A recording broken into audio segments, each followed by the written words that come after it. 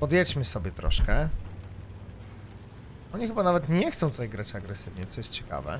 Jest jakaś lodówa? Jest. Boję się. Boję się. Boję się, to jest trzecia gierka, ja się boję.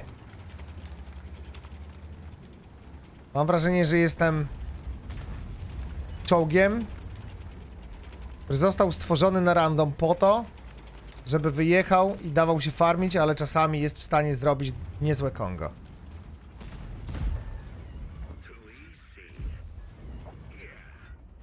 Niepotrzebna pecha.